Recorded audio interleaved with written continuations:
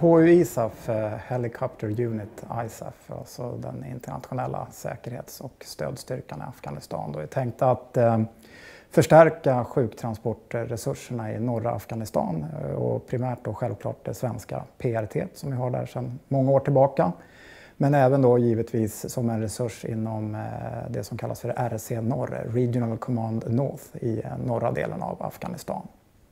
Syftet är då att med helikopter förstärka sjuktransportsystemet och syftet är givetvis att eh, generellt sett öka kvaliteten i det här men då förkorta transporttiderna och kanske då i synnerhet från eh, ytterområdena av eh, respektive PRT.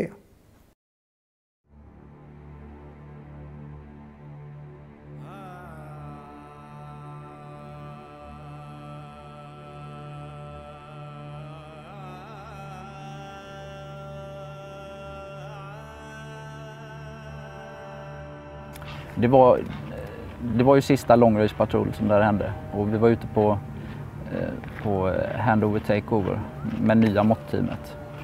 Och vi hade varit i bas för natten och hade brutit den och var på väg ut för dagens patrull.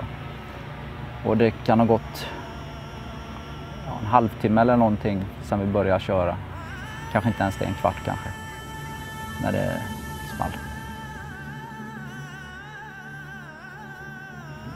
Tror ingen riktigt fattade vad som hade hänt de första sekunderna. Och sen gick det ju, tror jag alla liksom begrep att eh, vi har ju kört på en IED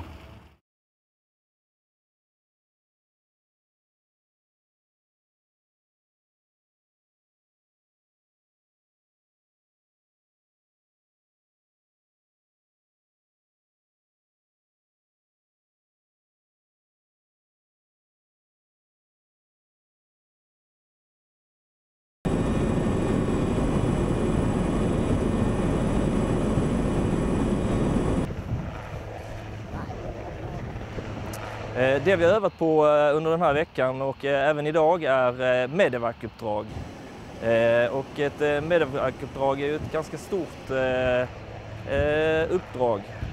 Man börjar med en planeringsdel där man då sätter sig och tittar på det fientliga läget, vilka färdvägar som kan genomföras. Sen är det ju då själva genomförandet och därefter en debrief som ska genomföras.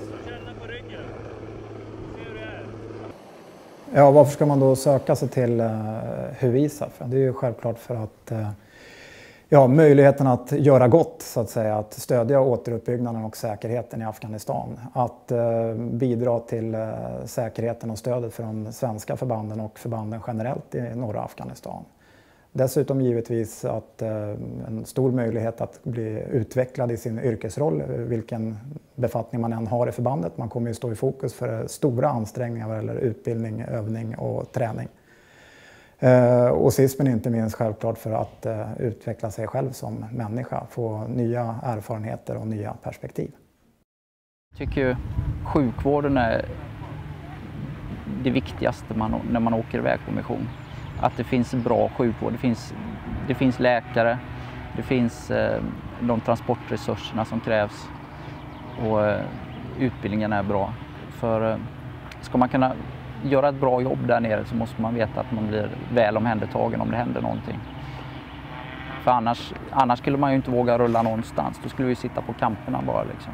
Men vi ska ju vara ute i området och jobba. Och eh, då, då är sjukvården eh, och att det finns helikoptrar jätteviktigt.